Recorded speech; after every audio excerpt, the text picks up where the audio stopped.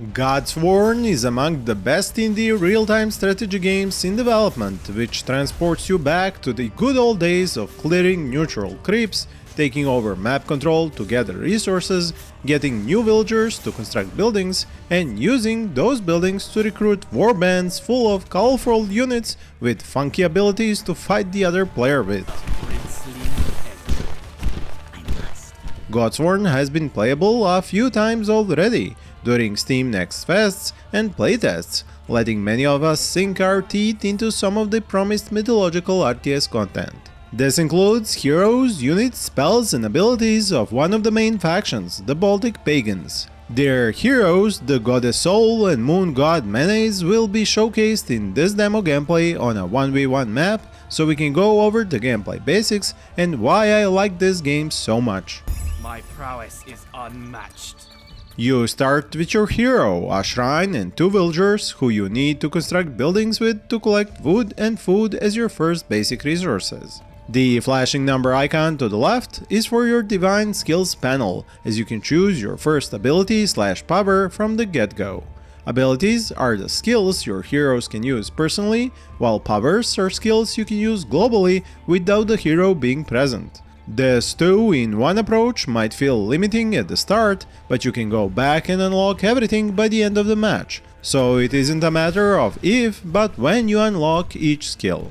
Villagers are your builders, workers and worshippers, meaning they both construct and man your resource gathering buildings, while they can stay at the shrine, your HQ building, and generate more fate for you.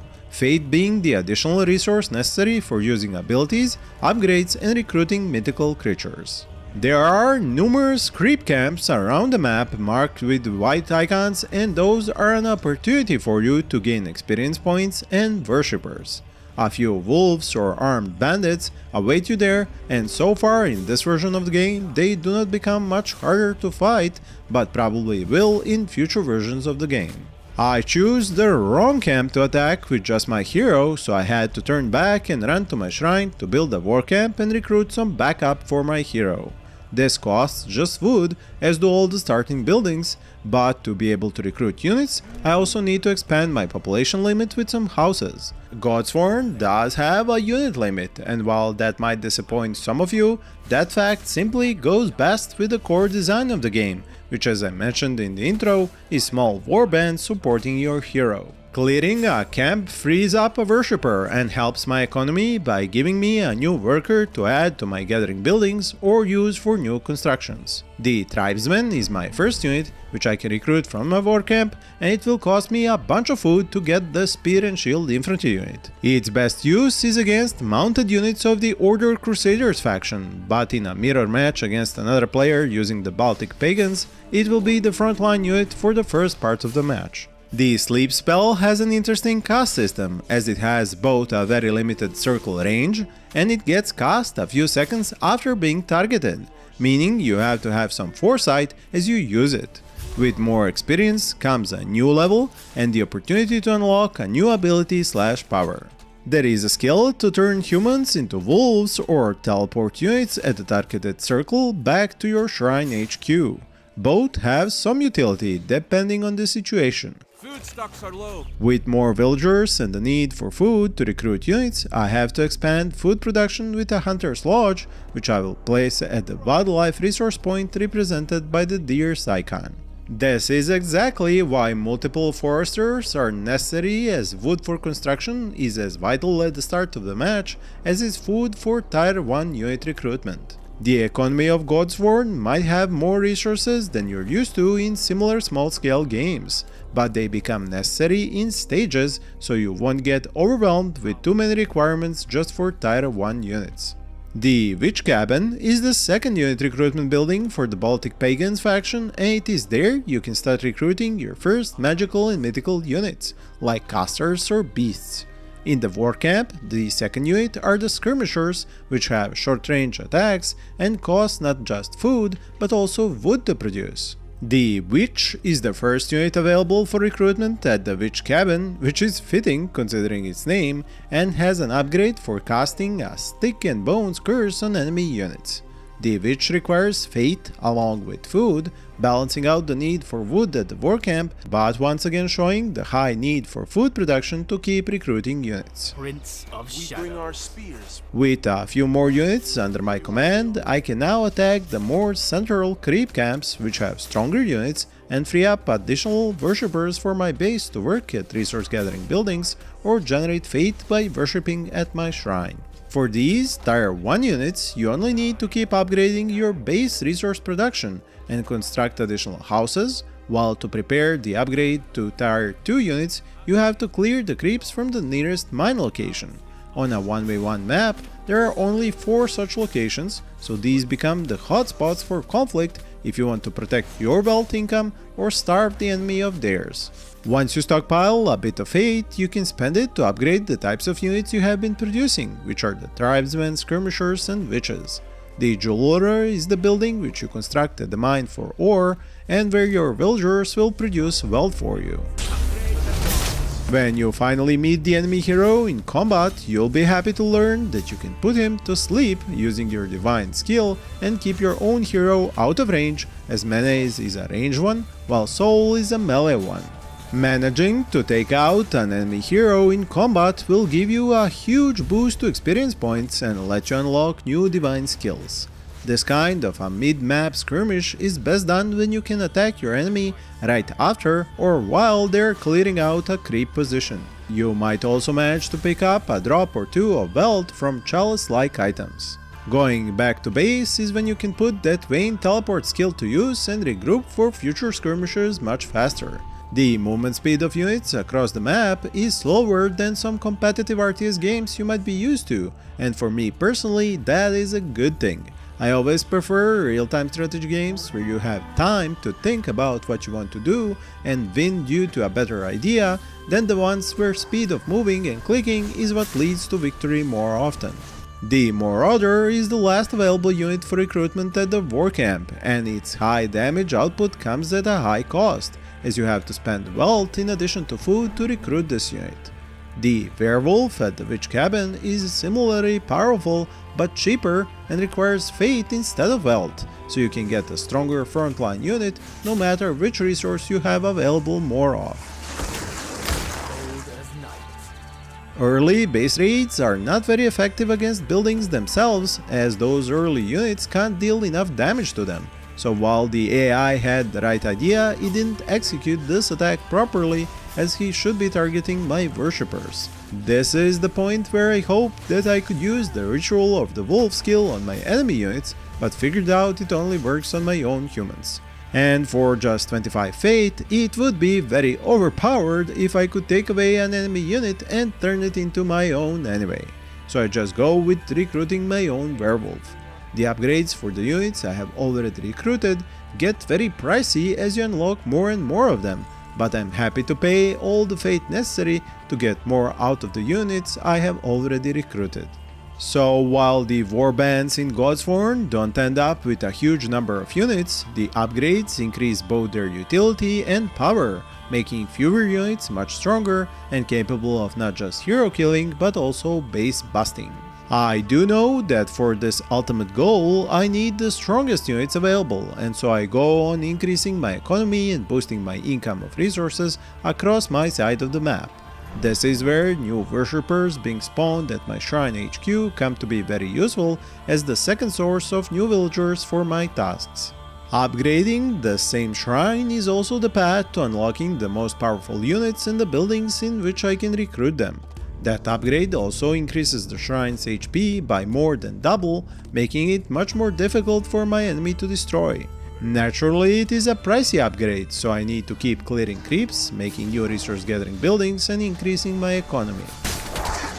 At level 4, I get to choose between a hero and a global skill, but interestingly enough, the global skill directly and forever boosts my hero's damage output with more blades he can throw at distance. So I go with that. At about 10 minutes in, you would expect the match to be going head to head at this point, but as I said, this game isn't that fast, and I'm still clearing the map of creeps and expanding my economy by rescuing more worshippers. I know all will not like this kind of slower expansion gameplay and fewer pressures to attack the enemy early on, and that is okay. We all find RTS games we like more or less, so feel free to tell me in the comments which games Godsworn reminds you the most of and did you enjoy playing them.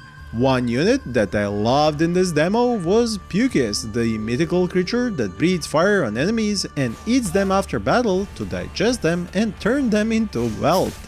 I honestly do not remember ever seeing such a unit mechanic in RTS games before, but if anyone does, do remind me of it. Obviously, playing against the AI isn't a huge challenge here, but I usually use the AI to be able to show you a match blow by blow and talk about different elements that come up as the match goes on. It also depends on the type of video I want to make, as for example, my previous video about global conflagration was based only on multiplayer gameplay, which is much faster, as is the game itself, and a more edited type of a video was called for. My first Pukis is now ready and I include it in my first combat group made up of melee units, despite its range fire attack, as it will be best used against multiple enemies at the front line. Unfortunately, it was caught in a skirmish and died too soon, but I made sure the enemy hero paid the price for it. Because of my choice of the warrior patron skill, I now have a considerable amount of faith as each fight and defeated enemy gets me even more of it and I can spend it on new units or divine skills to help me take out even more enemy units. It could be a sign of a snowball effect, but I can't say it is detrimental to gameplay since I haven't played enough matches to be sure of it. One thing that does annoy me is how the pickup of chalice items works and takes far too many moves and clicks to get them. This sort of stuff is obviously expected from games in development and I am not saying this has to be perfect now, just what needs to be fixed in the future. After a while, the AI does get into the habit of attacking my resource gathering outposts but with too few units to make an impact. He does however give me the idea what I should be doing. Considering the fact that resources are all over the map, I'm basically playing this as a low actions per minute newbie and should be instead sending small parties of 2 to 3 fast units across my enemy's part of the map, sniping his villagers or burning down his gathering buildings. What should we do? This is undoubtedly how player versus player matches between top players are going to go down and they will feel much faster for it. The next minutes of the match go on in a similar pattern, with me expanding my resource collection operations across my part of the map, adding new houses to increase my unit limit, as well as farmstead buildings for growing food, recruiting more units, unlocking upgrades for them, and defending against every new attack by the enemy AI. After my third unit recruitment building, the Warrior's Hall, is finished, I proceed to learn about the capabilities and upgrades for the Raider mounted unit and the Wolf Warrior.